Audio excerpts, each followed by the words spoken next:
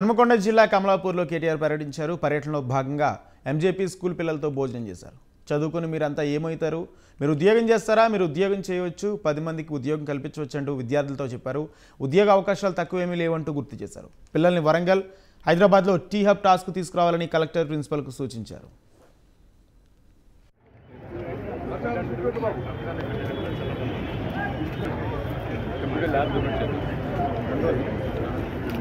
మొత్తం tenth and eleventh అంతా two twenty ఉన్నారు టూ ట్వంటీ మంది పిల్లలకి ఐదు బస్సులు పెట్టారు నాలుగు బస్సులు హైదరాబాద్లో టీ హబ్ చేసి తర్వాత అరేంజ్ చేస్తారు టైం తీసుకొచ్చి సేఫ్గా వెనక్కి తీసుకొచ్చారు దీంతో కూడా స్టేబుల్ చేయాలి థ్యాంక్ యూ మేడం మీరు అడగకపోతే ఇప్పుడు ఏం కావాలంటే మీరు ఏం లేదండి పిల్లలేమో కంప్యూటర్ ల్యాబ్ అండి అడగకపోతే అలా మీరు అమ్మాయిలకు గట్టిగా అడగాలి. డ్రోన్తో రైతుల పొలాల మీద గుళ్ళ మందు కొట్టచ్చు. డ్రోన్తో మంటలు ఆర్పచ్చు. పెద్ద పెద్ద బిల్డింగ్లలో మంటలు వస్తాయి. డ్రోన్తో ఇంకా కొన్ని రోజులలో మనుషులను కూడా తీసుకుపోవచ్చు డ్రోన్ ట్యాక్సీలు వస్తున్నాయి కొన్ని కొన్ని రోజుల తర్వాత. ఎట్లయితే మోటార్ సైకిల్ ఉన్నాయో.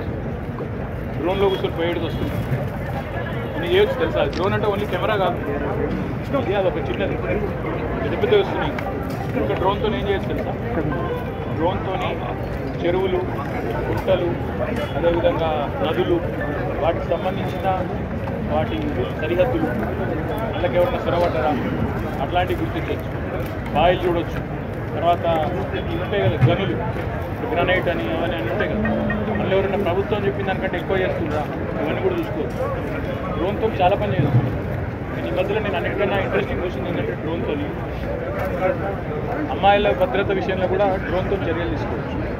ఉదాహరణకి ఎవరైనా ఒక అమ్మాయి డేంజర్ ఉందంట బటన్ వచ్చితే డ్రోను సైరన్తో కెమెరాతో ఉన్న డ్రోన్ వస్తుంది. వచ్చిందనుకో ఇక్కడ పోలీసు వాళ్ళు వచ్చే వరకు ఆ ట్రాఫిక్లో పడి ఊళ్ళలో పడి రోడ్ల మీద పడి వచ్చిన టైం పడుతుంది కదా. డ్రోన్ వచ్చిందనుకో ఫస్ట్ సేమ్ అవుతుంది ఆటోమేటిక్గా ఎవడైనా దొంగతనమో దొంగతనమో చేసినట్టు వాటి కెమెరా తీసుకుంటుంది డ్రోన్తో గిన్నె ఫలితాలు ధన